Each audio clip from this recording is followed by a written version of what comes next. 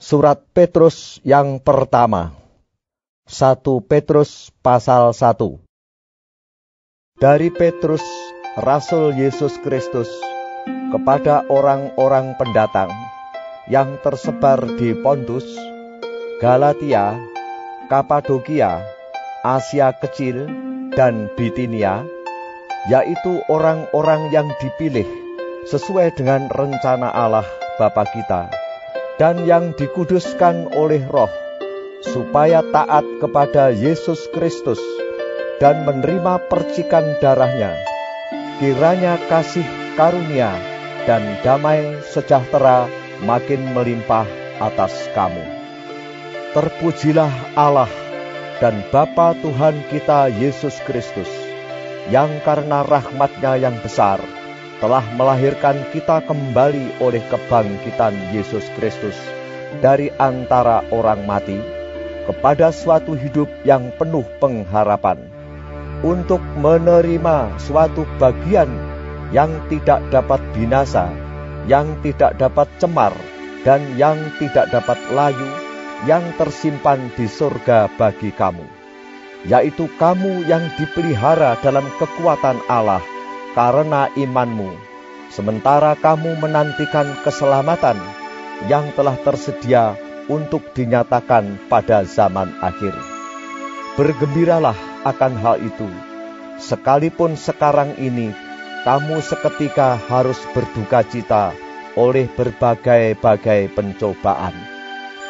Maksud semuanya itu ialah untuk membuktikan kemurnian imanmu yang jauh lebih tinggi nilainya daripada emas yang fana yang diuji kemurniannya dengan api sehingga kamu memperoleh puji-pujian dan kemuliaan dan kehormatan pada hari Yesus Kristus menyatakan dirinya. Sekalipun kamu belum pernah melihat dia, namun kamu mengasihinya. Kamu percaya kepada dia, sekalipun kamu sekarang tidak melihatnya. Kamu bergembira karena sukacita yang mulia dan yang tidak terkatakan karena kamu telah mencapai tujuan imanmu, yaitu keselamatan jiwamu. Keselamatan itulah yang diselidiki dan diteliti oleh nabi-nabi yang telah bernubuat tentang kasih karunia yang diuntukkan bagimu. Dan mereka meneliti saat yang mana dan yang bagaimana yang dimaksudkan oleh roh Kristus yang ada di dalam mereka yaitu roh yang sebelumnya memberi kesaksian tentang segala penderitaan yang akan menimpa Kristus dan tentang segala kemuliaan yang menyusul sesudah itu. Kepada mereka telah dinyatakan bahwa mereka bukan melayani diri mereka sendiri, tetapi melayani kamu dengan segala sesuatu yang telah diberitakan sekarang kepada kamu dengan perantaraan mereka yang oleh Roh Kudus yang diutus dari sorga menyampaikan berita Injil kepada kamu, yaitu hal-hal yang ingin diketahui oleh malaikat-malaikat.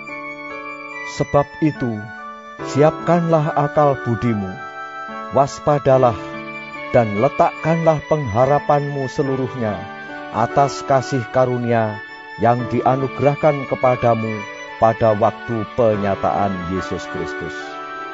Hiduplah sebagai anak-anak yang taat dan jangan turuti hawa nafsu yang menguasai kamu pada waktu kebodohan. Tetapi hendaklah kamu menjadi kudus di dalam seluruh hidupmu, sama seperti Dia yang kudus yang telah memanggil kamu. Sebab ada tertulis, kuduslah kamu, sebab aku kudus. Dan jika kamu menyebutnya Bapa, yaitu dia yang tanpa memandang muka, menghakimi semua orang menurut perbuatannya, maka hendaklah kamu hidup dalam ketakutan selama kamu menumpang di dunia ini. Sebab kamu tahu bahwa kamu telah ditebus dari cara hidupmu yang sia-sia, yang kamu warisi dari nenek moyangmu itu, bukan dengan barang yang fana, bukan pula dengan perak atau emas, melainkan dengan darah yang mahal, yaitu darah Kristus yang sama seperti darah anak domba yang tak bernoda dan tak bercacat. Ia telah dipilih sebelum dunia dijadikan. Tetapi karena kamu baru menyatakan dirinya pada zaman akhir, oleh dialah kamu percaya kepada Allah yang telah membangkitkan dia dari antara orang mati dan yang telah memuliakannya sehingga imanmu dan pengharapanmu tertuju kepada Allah. Karena kamu telah menyucikan dirimu oleh ketaatan kepada kebenaran, sehingga kamu dapat mengamalkan kasih persaudaraan yang tulus ikhlas. Hendaklah kamu bersungguh-sungguh saling mengasihi dengan segenap hatimu. Karena kamu telah dilahirkan kembali, bukan dari benih yang fana, tetapi dari benih yang tidak fana, oleh firman Allah yang hidup dan yang kekal. Sebab semua yang hidup adalah seperti rumput, dan segala kemuliaannya seperti bunga rumput. Rumput menjadi kering, dan bunga gugur. Tetapi firman Tuhan tetap untuk selama-lamanya. Inilah firman yang disampaikan Injil kepada kamu. 1 Petrus pasal 2 Karena itu, buanglah segala kejahatan, segala tipu muslihat dan segala macam kemunafikan, kedengkian dan fitnah. Dan jadilah sama seperti bayi yang baru lahir, yang selalu ingin akan air susu yang murni dan yang rohani, supaya olehnya kamu bertumbuh dan beroleh keselamatan, jika kamu benar-benar telah mengecap kebaikan Tuhan. Dan datanglah kepadanya batu yang hidup itu, yang memang dibuang oleh manusia, tetapi yang dipilih dan dihormat di hadirat Allah. Dan biarlah kamu juga dipergunakan sebagai batu hidup untuk pembangunan suatu rumah rohani, bagi suatu imamat kudus, untuk mempersembahkan persembahan rohani yang karena Yesus Kristus berkenan kepada Allah. Sebab ada tertulis dalam kitab suci. Sesungguhnya, aku meletakkan di Sion sebuah batu yang terpilih, sebuah batu penjuru yang mahal, dan siapa yang percaya kepadanya tidak akan dipermalukan. Karena itu, bagi kamu yang percaya, ia mahal, tetapi bagi mereka yang tidak percaya, batu yang telah dibuang oleh tukang-tukang bangunan telah menjadi batu penjuru juga telah menjadi batu sentuhan dan suatu batu sandungan. Mereka tersandung padanya karena mereka tidak taat kepada firman Allah, dan untuk itu mereka juga telah disediakan. Tetapi kamulah bangsa yang terpilih, imamat yang rajani, bangsa yang kudus, umat kepunyaan Allah sendiri supaya kamu memberitakan perbuatan-perbuatan yang besar dari Dia, yang telah memanggil kamu keluar dari kegelapan kepada terangnya yang ajaib. Kamu yang dahulu bukan umat Allah, tetapi yang sekarang telah menjadi umatnya, yang dahulu tidak dikasihani, tetapi yang sekarang telah beroleh belas kasihan. Saudara-saudaraku yang kekasih, aku menasihati kamu, supaya sebagai pendatang dan perantau, kamu menjauhkan diri dari keinginan-keinginan daging yang berjuang melawan jiwa. Milikilah cara hidup yang baik di tengah-tengah bangsa-bangsa bukan Yahudi, supaya apabila mereka memfitnah kamu sebagai orang durjana, mereka dapat melihatnya dari perbuatan-perbuatanmu yang baik dan memuliakan Allah pada hari ia melawat mereka. Tunduklah karena Allah kepada semua lembaga manusia, baik kepada raja sebagai pemegang kekuasaan yang tertinggi, maupun kepada wali-wali yang diutusnya untuk menghukum orang-orang yang berbuat jahat dan menghormati orang-orang yang berbuat baik. Sebab inilah kehendak Allah, yaitu supaya dengan berbuat baik kamu membungkamkan kepicikan orang-orang yang bodoh. Hiduplah sebagai orang merdeka dan bukan seperti mereka yang menyalahgunakan kemerdekaan itu untuk menyelubungi kejahatan-kejahatan mereka, tetapi hiduplah sebagai hamba Allah. Hormatilah semua orang, kasihilah saudara-saudaramu, takutlah akan Allah, hormatilah Raja. Hai kamu hamba-hamba, tunduklah dengan penuh ketakutan kepada Tuanmu, bukan saja kepada yang baik dan peramah, tetapi juga kepada yang bengis. Sebab adalah kasih karunia jika seorang karena sadar akan kehendak Allah menanggung penderitaan yang tidak harus ia tanggung. Sebab dapatkah disebut pujian jika kamu menderita pukulan karena kamu berbuat dosa? Tetapi jika kamu berbuat baik dan karena itu kamu harus menderita, maka itu adalah kasih karunia pada Allah. Sebab untuk itulah kamu dipanggil, karena Kristus pun telah menderita untuk kamu dan telah meninggalkan teladan bagimu, supaya kamu mengikuti jejaknya. Ia tidak berbuat dosa, dan tipu tidak ada dalam mulutnya Ketika ia dicaci maki, ia tidak membalas dengan mencaci maki. Ketika ia menderita, ia tidak mengancam, tetapi ia menyerahkannya kepada Dia yang menghakimi dengan adil. Ia sendiri telah memikul dosa kita di dalam tubuhnya di kayu salib, supaya kita yang telah mati terhadap dosa hidup untuk kebenaran oleh bilur-bilurnya kamu telah sembuh. Sebab dahulu kamu sesat seperti domba, tetapi sekarang kamu telah kembali kepada gembala dan pemelihara jiwamu. Satu Petrus pasal 3 Demikian juga kamu, hai istri-istri, tunduklah kepada suamimu, supaya jika ada di antara mereka yang tidak taat kepada firman, mereka juga tanpa perkataan dimenangkan oleh kelakuan istrinya. Jika mereka melihat bagaimana murni dan salehnya hidup istri mereka itu.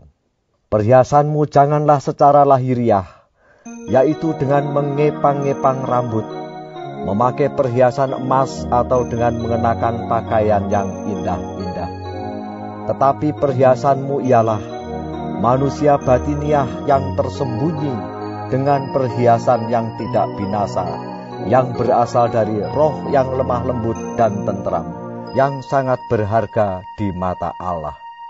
Sebab demikianlah caranya perempuan-perempuan kudus dahulu berdandan, yaitu perempuan-perempuan yang menaruh pengharapannya kepada Allah. Mereka tunduk kepada suaminya sama seperti Sarah taat kepada Abraham dan menamai dia tuannya. Dan kamu adalah anak-anaknya jika kamu berbuat baik dan tidak takut akan ancaman. Demikian juga kamu, hai suami-suami, hiduplah bijaksana dengan istrimu sebagai kaum yang lebih lemah. Hormatilah mereka sebagai teman pewaris dari kasih karunia yaitu kehidupan, supaya doamu jangan terhalang.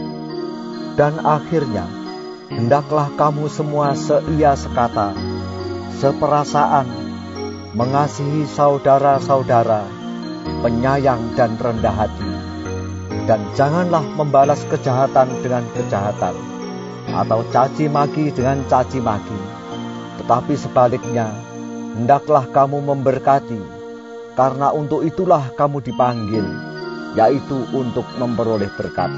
Sebab siapa yang mau mencintai hidup dan mau melihat hari-hari baik, ia harus menjaga lidahnya terhadap yang jahat dan bibirnya terhadap ucapan-ucapan yang menipu. Ia harus menjauhi yang jahat dan melakukan yang baik. Ia harus mencari perdamaian dan berusaha mendapatkannya.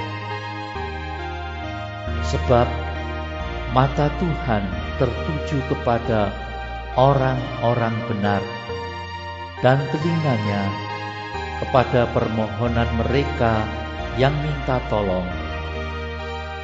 Tetapi wajah Tuhan menentang orang-orang yang berbuat jahat.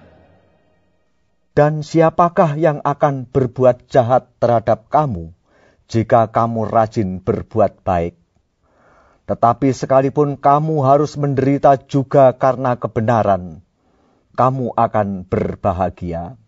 Sebab itu janganlah kamu takuti apa yang mereka takuti dan janganlah gentar.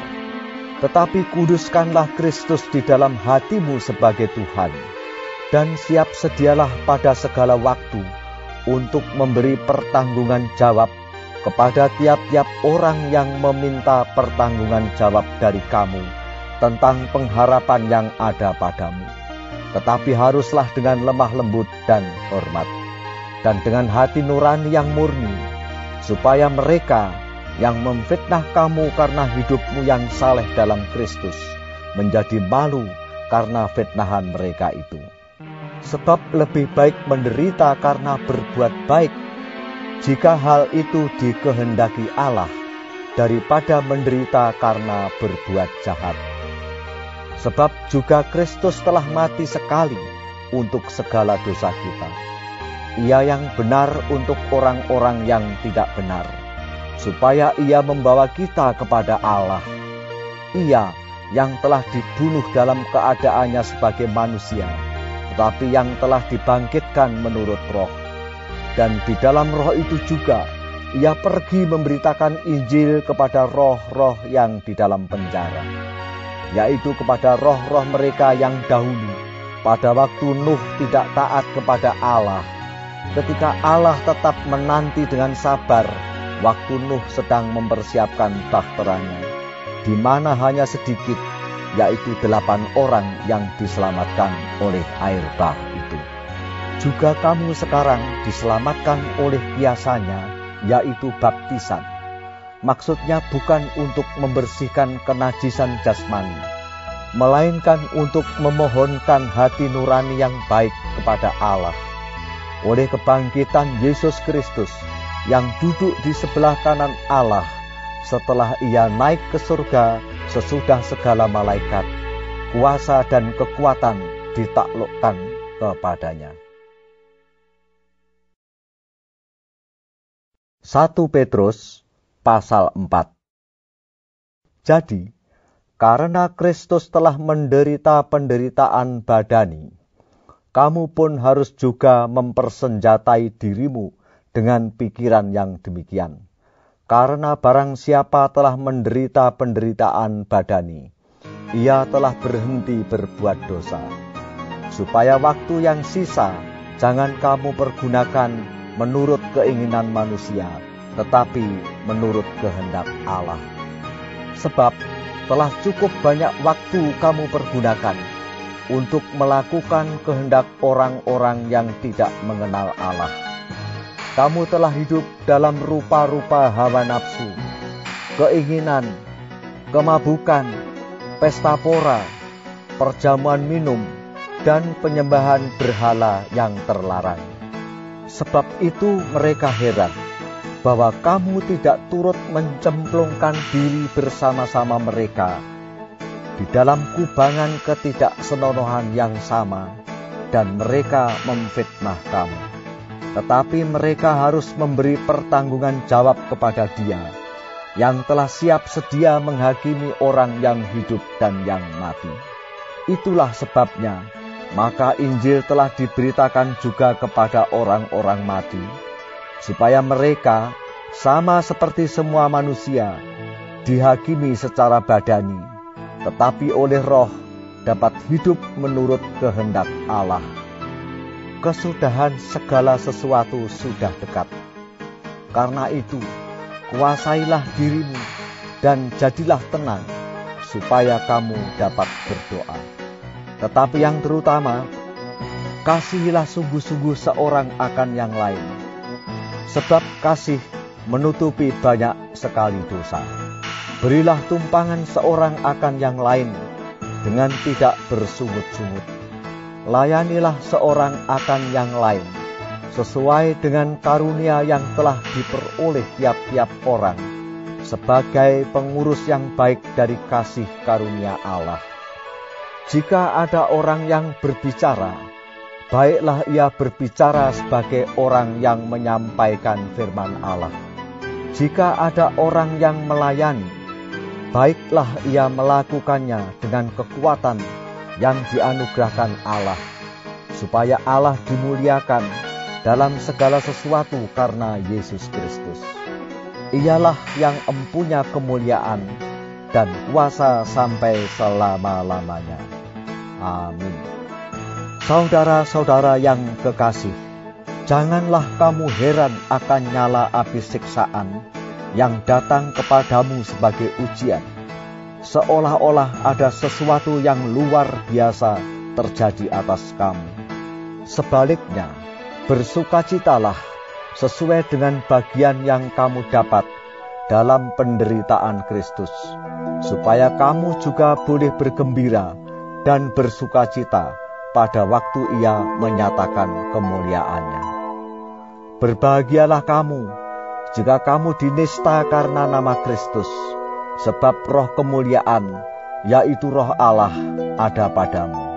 Janganlah ada di antara kamu yang harus menderita sebagai pembunuh, atau pencuri, atau penjahat, atau pengacam. Tetapi jika ia menderita sebagai orang Kristen, maka janganlah ia malu, melainkan hendaklah ia memuliakan Allah dalam nama Kristus itu. Karena sekarang telah tiba saatnya penghakiman dimulai, dan pada rumah Allah sendiri yang harus pertama-tama dihakimi. Dan jika penghakiman itu dimulai pada kita, bagaimanakah kesudahannya dengan mereka yang tidak percaya pada Injil Allah? Dan jika orang benar hampir-hampir tidak diselamatkan, apakah yang akan terjadi dengan orang fasik dan orang berdosa? Karena itu, baiklah juga mereka yang harus menderita karena kehendak Allah, menyerahkan jiwanya dengan selalu berbuat baik kepada Pencipta yang setia. 1 Petrus pasal 5 Aku menasihatkan para penatua di antara kamu. Aku sebagai teman penatua dan saksi penderitaan Kristus yang juga akan mendapat bagian dalam kemuliaan yang akan dinyatakan kelak. Gembalakanlah kawanan domba Allah yang ada padamu, jangan dengan paksa, tetapi dengan sukarela, sesuai dengan kehendak Allah, dan jangan karena mau mencari keuntungan, tetapi dengan pengabdian diri. Janganlah kamu berbuat seolah-olah kamu mau memerintah atas mereka yang dipercayakan kepadamu. Tetapi hendaklah kamu menjadi teladan bagi kawanan domba itu. Maka kamu, apabila gembala agung datang, kamu akan menerima mahkota kemuliaan yang tidak dapat lain. Demikian jugalah kamu, hai orang-orang muda tunduklah kepada orang-orang yang tua. Dan kamu semua, rendahkanlah dirimu seorang terhadap yang lain. Sebab Allah menentang orang yang congkak, tetapi mengasihani orang yang rendah hati. Karena itu, rendahkanlah dirimu di bawah tangan Tuhan yang kuat, supaya kamu ditinggikannya pada waktunya. Serahkanlah segala kekhawatiranmu kepadanya, sebab ia yang memelihara kamu. Sadarlah dan berjaga-jagalah. Lawanmu, si iblis, berjalan keliling sama seperti singa yang mengaum-aum dan mencari orang yang dapat ditelannya. Lawanlah dia dengan iman yang teguh, sebab kamu tahu bahwa semua saudaramu di seluruh dunia menanggung penderitaan yang sama.